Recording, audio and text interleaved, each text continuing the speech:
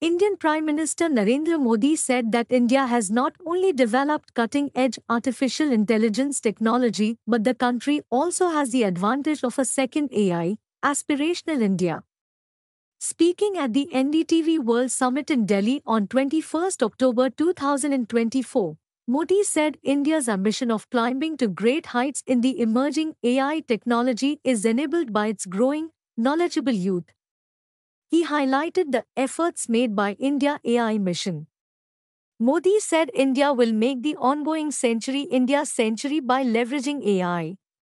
Aspirational India and artificial intelligence will combine together to accelerate the speed of development in India, said Modi.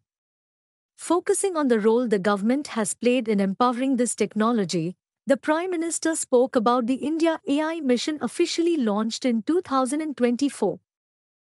The India AI mission has assisted entrepreneurs and individuals in healthcare, education, startups, and other sectors in increasing the usage and integration of AI, PM Modi highlighted.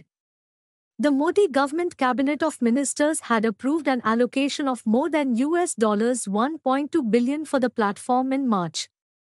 This funding over a period of 5 years and is aimed to power key initiatives such as the India AI Compute Capacity, India AI Innovation Center, IIC, India AI Datasets Platform, India AI Application Development Initiative, India AI Future Skills, India AI Startup Financing, and more. Modi pointed out that India is now working to provide better AI solutions to the rest of the world. The AI technology will help in providing ease of living, quality of life, better opportunities for micro, small, and medium enterprises, MSME, as well as empowering the aspirations of the youth, women, and all the citizen.